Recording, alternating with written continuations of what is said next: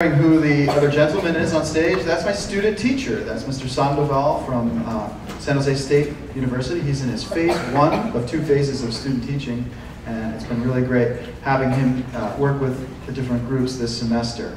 So would you please welcome now our next performing group and our guest conductor, Mr. Sandoval, the Symphonic Band.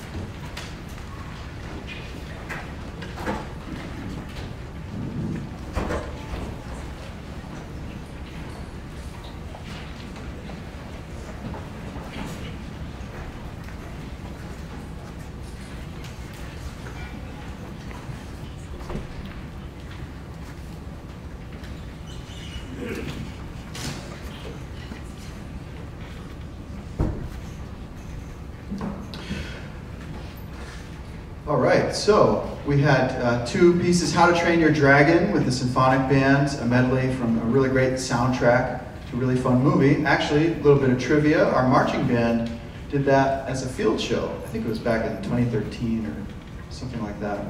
And then, 14? 14. Yes, thank you. Random voice from the audience. Um, Die House, if you look at your program, you might be wondering what, what kind of a morbid title is that? Um, it's not as morbid as you, you think. It's related to a video game called Cuphead, and it com- comes from like a pair of dice, so a single die. It's not some sort of gruesome scene. Um, we're going to play one more for you, uh, Mischievous Behavior, and I'll tell you a little bit about that. But before I do, as with the other ensemble, the students voted in the symphonic band for the most outstanding musician of the year. And that award goes to Rohil Gupta. Congratulations.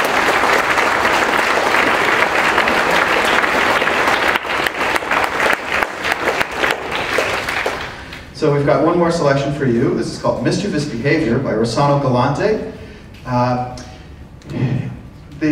it's a fun, uh, upbeat piece, and it uses an interval called the tritone, which is an interval of an augmented fourth that composers for many, many years have been using to uh, convey uh, sort of mischievous or nefarious uh, ideas. And uh, the Lydian modal scale is also used. You might think it sounds like a certain long-running animated TV series. But I won't tell you what it is. I'll let you make that connection for yourself. So here's mischievous behavior.